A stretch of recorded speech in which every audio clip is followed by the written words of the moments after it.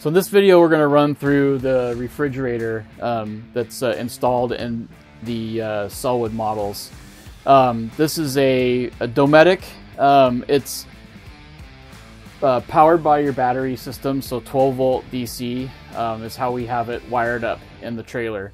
So as long as you have 12 volt power to your trailer, this refrigerator will be powered up and, and running um, when it's powered on. So to open the refrigerator, you've got a lock handle up here on top. So you're going to pull that lock handle out and then pull the refrigerator towards you. That will open up the refrigerator. Freezer area is located in the top.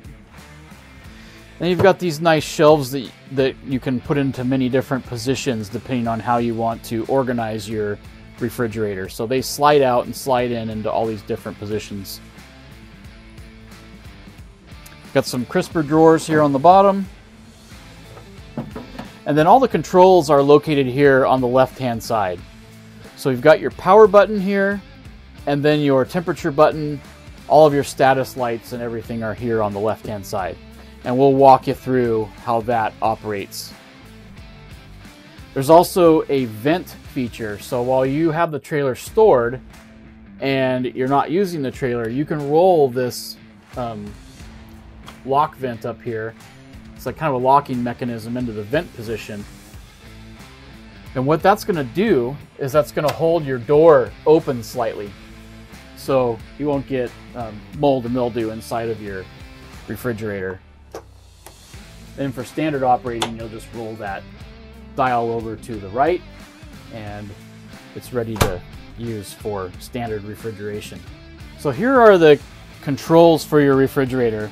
This button here on the left hand side, as you're looking at it, is your power button. So to turn the refrigerator off and on, you're going to hold that power button for a few seconds. Right now the refrigerator is off. To turn the refrigerator on, you'll hold the button for I think three seconds. Now your refrigerator's powered up.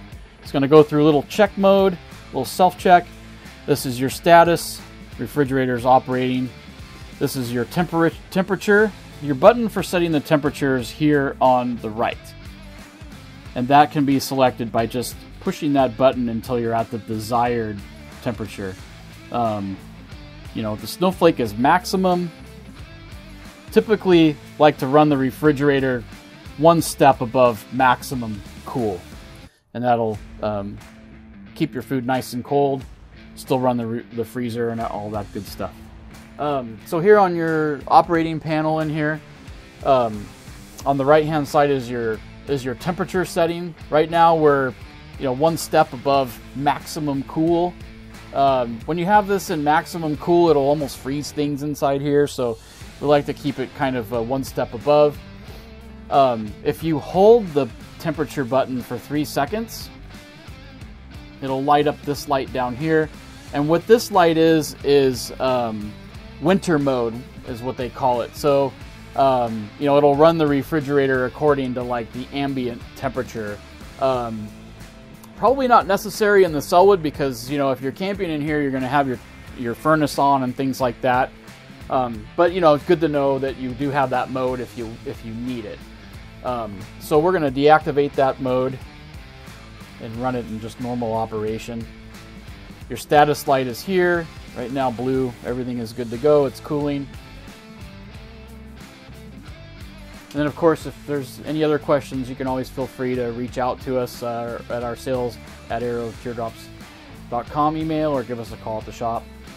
Um, and we'll uh, do what we can to help you.